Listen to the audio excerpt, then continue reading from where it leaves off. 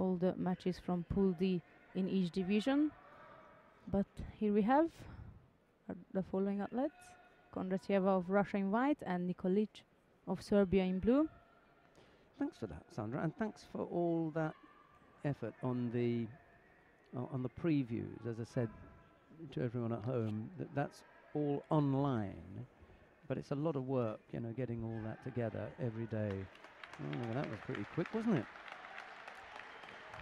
This was one of the contests actually Yeah. I was looking forward to because Nikolic is a good young fighter and she has been taking down out one of some of those some of the elites, but Kondratiev was is not having any